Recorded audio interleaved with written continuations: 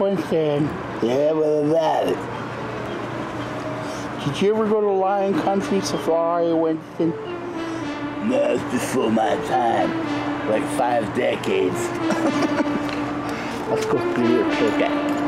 This is the Whaley House.